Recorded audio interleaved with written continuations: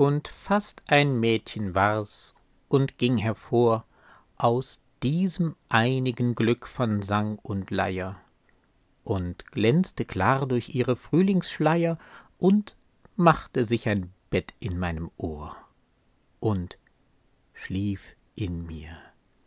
Und alles war ihr Schlaf, die Bäume, die ich je bewundert, diese fühlbare Ferne, die gefühlte Wiese und jedes Staunen, das mich selbst betraf.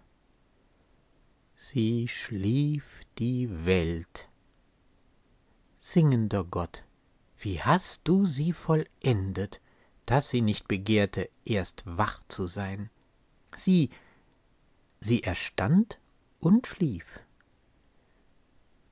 Wo ist ihr Tod? O wirst du dies Motiv erfinden noch, eh sich dein Lied verzehrte? Wo singt sie hin aus mir? Ein Mädchen fast.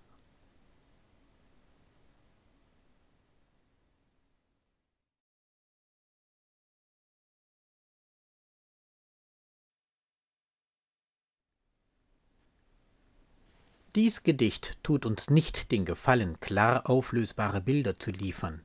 Lesen wir es als eine Betrachtung über die Wirkung von Musik, denn Orpheus ist schließlich ein Sänger. Und fast ein Mädchen war's, wohlgemerkt, fast, und ging hervor aus diesem einigen Glück von Sang und Leier. Die Musik von Orpheus lässt also fast ein Mädchen entstehen, das herzerwärmendste und zarteste, was sich ein Dichter ausdenken mag. Und glänzte klar durch ihre Frühlingsschleier. Der Hauch einer Andeutung einer erotischen Vision, gerade genug zum Verlieben. Und machte sich ein Bett in meinem Ohr und schlief in mir. Die Musik pflanzt ein Leben in den Menschen, der sie hört, das sich in größter Behaglichkeit in einem einnistet und selbst menschliche Wärme verströmt. Und alles war ihr Schlaf. Die Bäume, die ich je bewundert, diese fühlbare Ferne, die gefühlte Wiese und jedes Staunen, das mich selbst betraf. Sie schlief die Welt. Jetzt wiederum lässt dieses Leben anderes sein, Entstehen ist nicht ganz der richtige Ausdruck dafür, denn die Welt, vielmehr alles, wofür dann auch konkrete Beispiele gegeben werden, und sogar die Selbstwahrnehmung sind ja schon da. Aber die Musik gibt dieser innerlich gefühlten Welt eine neue Lebendigkeit.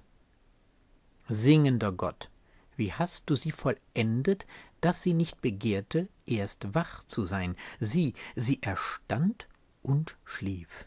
Musik ist selbst ja kein Leben, insofern schlafend, während sie unsere Welterfahrung in uns zum Klingen bringt.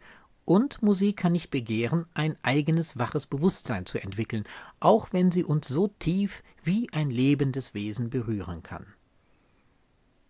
Wo ist ihr Tod? O wirst du dies Motiv erfinden noch, eh sich dein Lied verzehrte? Auch dieses Mädchen muss sterben, denkt der Sprecher, ebenso wie die jung verstorbene Tänzerin Vera, der die Sonette an Orpheus als ein Grabmal gewidmet sind. Aber kann das sein? Im Gegensatz zu Vera ist dieses Mädchen im Gedicht doch ein Produkt der Kunst, aber auch dieses Kunstwerk wird verklingen. Wo singt sie hin aus mir? Ein Mädchen fast. Wohin verweht diese Empfindung, die die Musik entfachte? Was bleibt von ihr? Mit anderen Worten, was bleibt in uns von der Musik, wenn sie verklungen ist?